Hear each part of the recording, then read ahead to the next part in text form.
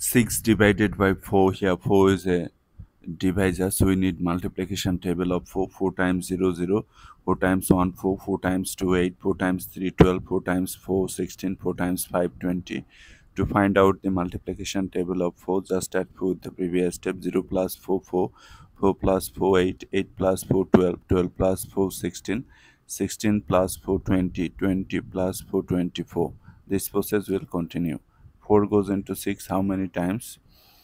Look 1 times 4 2 times 8 which is get us 1 time right? 1 1 times 4 4 subtract you are getting 2 so our answer is 1 remainder 2 if you want to write your answer in decimal form then take a decimal add number of zeros.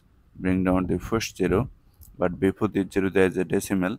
Decimal must come to the quotient directly 4 goes into 20 how many times 4 goes into 20 5 times. 5 times 4 20 subtract 0 as our remainder is 0 we are done. So our answer is 1.5